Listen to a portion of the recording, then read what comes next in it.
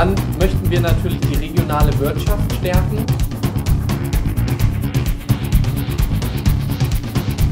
Roundabout 2000 Besucher. Unternehmer, Geschäftsführer, Teilhaber, dass die regionale Wirtschaft enger beieinander rutscht. Seit Jahren